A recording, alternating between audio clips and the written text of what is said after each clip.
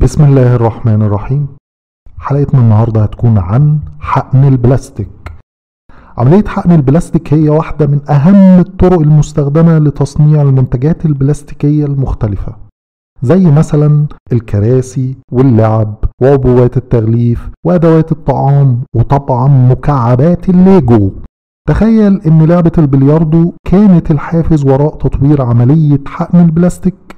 في القرن التسعة عشر كور البلياردو كانت بتتصنع من العاج اللي بيتم الحصول عليه من الأفيال الأفريقية. أفيال كتير تم قتلها وده طبعا شكل خطر لانقراض الأفيال. وده اللي خلى الشركة المصنعة لكور البلياردو إنها تعرض جايزة كبيرة 3 مليون دولار لأي حد يقدم مادة بديلة للعاج. الجايزة الكبيرة دي جذبت انتباه جون فيسلي هايت واللي قدر إنه يطور نوع بلاستيك جديد لتصنيع كور البلياردو والمادة الجديدة دي هي السيلولويد جون قام بتسجيل براءة اختراع لعملية تصنيع كور البلياردو من السيلولويد ودي تعتبر هي أول براءة اختراع لعملية حقن البلاستيك. للوهلة الأولى قد يبدو أن حقن البلاستيك عبارة عن عملية بسيطة. البلاستيك المنصهر بيتم حقنه بداخل قالب البلاستيك بياخد شكل القالب وبعد ما بيبرد بيخرج كمنتج بلاستيك. في الواقع عملية حقن البلاستيك مش بالبساطة دي. فماكينة حقن البلاستيك بتتكون من ثلاث أجزاء رئيسية وهما الحقن والقالب والمكبس أو ال injection unit وال mold وال clamp. بيتم تغذية حبيبات البلاستيك خلال ال hopper أو القادوس إلى وحدة الحقن أو ال injection unit داخل وحدة الحقن بيقوم ال screw أو الفتيل بنقل الحبيبات إلى الأمام. ملفات التسخين حوالين وحدة الحقن بتقوم بتسخين الحبيبات البلاستيكية. لما حبيبات البلاستيك بتتحرك للأمام بواسطة الفتيل بتبدأ بالانصهار تدريجيا وعلى ما بتوصل لنهاية وحدة الحقن بتكون منصهرة بالكامل. بمجرد تجميع كمية كافية من البلاستيك المنصهر أمام الفتيل بيتم دفعها للأمام زي مكبس الحقنة وفي خلال ثواني بيقوم الفتيل بحقن البلاستيك المنصهر في التجويف أو الجزء الفارغ من القالب. البلاستيك بينشف وبيتصلب في أقل من دقيقة وبينفتح القالب ويتم إخراج المنتج البلاستيكي. وبعد كده بيقفل القالب وتتكرر العملية.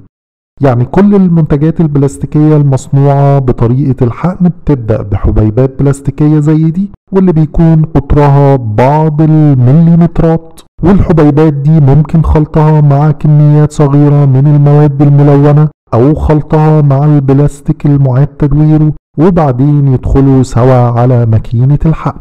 قبل منتصف القرن العشرين كانت ماكينات الحقن بتعتمد على التسخين الخارجي فقط لصهر البلاستيك وبعد كده يقوم المكبس بحقن البلاستيك المنصهر. بس لأن البلاستيك مش ناقل جيد للحرارة فدرجة الحرارة مش بتكون متساوية في المكبس. فإما البلاستيك الموجود في الوسط مش بيكون منصهر تماما أو إن البلاستيك الموجود على الأطراف بيكون درجة حرارته عالية جدا وبالتالي بيتحرق والمنتج مش بيكون كويس. ولحل المشكلة دي تم استخدام ال screw أو الفتيل. والفتيل ده بيعتبر هو أهم اختراع عمل ثورة في صناعة البلاستيك في القرن العشرين. في الماكينات القديمة اللي بتعتمد فقط على المكبس كان البلاستيك بيملى البرميل الاسطواني بالكامل لكن زي ما وضحنا قبل كده درجة حرارة البلاستيك ما كانتش موحدة أو متجانسة. باستخدام الفتيل تم التغلب على المشكلة دي بثلاث طرق. اولا في الماكينات الحديثة البلاستيك بيملى المساحة الموجودة حوالين عمود الفتيل فقط وبالتالي تم التخلص من البلاستيك البارد اللي كان موجود في الوسط واتبقى لنا طبقة رقيقة من البلاستيك الساخن حوالين الفتيل. ثانيا الفتيل بيحتوي على قنوات. وأثناء دوران الفتيل البلاستيك المنصهر بينتقل خلال القنوات دي والقنوات دي كمان بتعمل على خلط البلاستيك. وده لأن البلاستيك المنصهر بيبدأ بالدوران داخل القنوات دي. وثالثا حركة الفتيل بالشكل ده بتسخن البلاستيك باستمرار والفتيل بيتم تصميمه بحيث إن حجم القنوات بيكون كبير في البداية وبعدين بتقل وبتكون صغيرة جدا في الآخر. وده بيخلي الفتيل يضغط أكتر وأكتر على البلاستيك وبالتالي بنتخلص من أي فقاعات هواء في البلاستيك. وعملية الاحتكاك دي بتخلي البلاستيك سخن طول الوقت. وللعلم فأكتر من 50% من الحرارة المطلوبة لتسخين البلاستيك بيتم توليدها من خلال عملية الاحتكاك دي والباقي بيجي من ملفات التسخين الخارجية. وبالتالي فالبلاستيك المنصهر بيعدي من خلال الفتحات الموجودة في المكبس اللي في آخر الفتيل. ولما الفراغ الموجود قدام المكبس بيتملي بيبدأ الفتيل بحركة للأمام علشان يحقن البلاستيك في القالب. تصميم المكبس بيحتوي على حلقة بالشكل ده واللي مش بتسمح للبلاستيك المنصهر إنه يرجع لورا. وده طبعا بيخلي البلاستيك يندفع في اتجاه القالب. في البداية بيكون في هواء جوه تجويف القالب ولما بيتم حقن البلاستيك المنصهر الهواء بيخرج من القالب وده من خلال بعض الفتحات. الفتحات دي عبارة عن قنوات دقيقة موجودة في قالب الحقن قطر القنوات دي بيكون صغير جدا أقل من 40 مايكرون. طبعا لزوجة البلاستيك المنصهر بتكون عالية ومش بتسمح له إنه يمر من القنوات الدقيقة دي. بعد كده بيتم تبريد البلاستيك الموجود في القالب من خلال مرور تيار مياه بارد في قنوات مخصوصة للهدف ده موجودة في قالب الحقن وبعد ما ينشف البلاستيك ويتصلب بيتم فتح القالب. محاولة فتح القالب بتخلق فراغ بين البلاستيك وجدار القالب والفراغ ده مش بيسمح بفتح القالب وبيكون قوة شفط قوية. علشان نتغلب على قوة الشفط القوية دي لازم يتم فتح القالب ببطء شديد في الأول علشان نسمح بدخول شوية هواء نكسر بيها الفراغ ده. وبمجرد دخول الهواء بنقدر نفتح القالب بشكل أسهل وأسرع.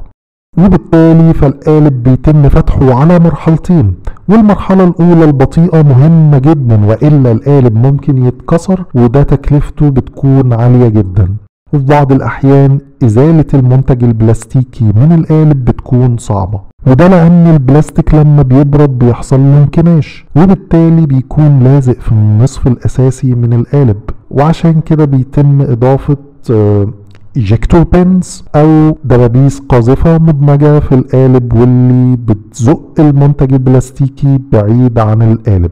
نهايات الدبابيس دي بتكون مستوية مع النصف الأساسي من القالب بس مش بتكون متوازنة بشكل مثالي وأحيانا بتنحرف شوية. وبالتالي لو بصيت كويس هتلاقي علامات الدبابيس دي في المنتج البلاستيكي.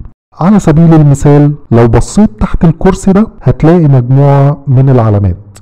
ولما المنتج البلاستيكي بيخرج من القالب فني التشغيل بيقوم بإزالة ال sprue أو بعض الأجزاء الزيادة اللي كانت بتوصل البلاستيك بين وحدة الحقن والقالب. وعملية القطع دي غالبا بتتم بشكل يدوي. وفي بعض الحالات بيتم حقن منتج واحد في القالب وفي حالات تانية بيتم حقن أكتر من منتج في نفس القالب. وفي الحالات دي بيكون في رانرز أو شبكة من الممرات جوه القالب بتوصل البلاستيك المنصهر من ماكينة الحقن للقالب. عادة بيكون في بوابة صغيرة على شكل مستطيل بتربط بين شبكة الممرات دي وفجوات المنتج الموجودة في القالب. وهنا تقدر تشوف أجزاء الطيارة دي بما فيها قناة البلاستيك الرئيسية وشبكة الممرات. قوالب الحقن دايما بتحتوي على جزئين على الأقل وبالتالي بيكون في خط بيتلاقى فيه البلاستيك المنصهر وهنا تقدر تشوف بوضوح خط التماس اللي بيتلاقى عنده البلاستيك. ولو أجزاء القالب ما قفلتش بشكل صحيح الخط ده بيكون واضح جدا وممكن يتسبب في مشكلة ويتم رفض المنتج. واحدة من أهم التفاصيل لتصميم القالب هي زاوية خروج المنتج.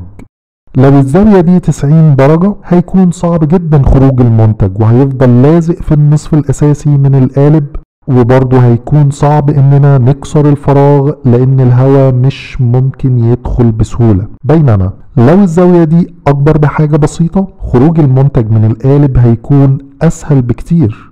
لأن بمجرد خروج المنتج هنسمح بدخول الهواء لكسر الفراغ بسهولة أحد أروع منتجات حقن البلاستيك هو مكعبات الليجو. هنا تقدر تشوف نقطة الحقن في المنتصف بسهولة بس دي بيتم تصنيعها بدون أي زيادات لأنه بيتم تصنيعها باستخدام hot runners أو قنوات توصيل ساخنة. وبالتالي البلاستيك الموجود بداخل فجوات القالب بس هي اللي بتتصلب. بينما ممرات التوصيل بتفضل سخنة والمنتج بيكون من غير زيادات.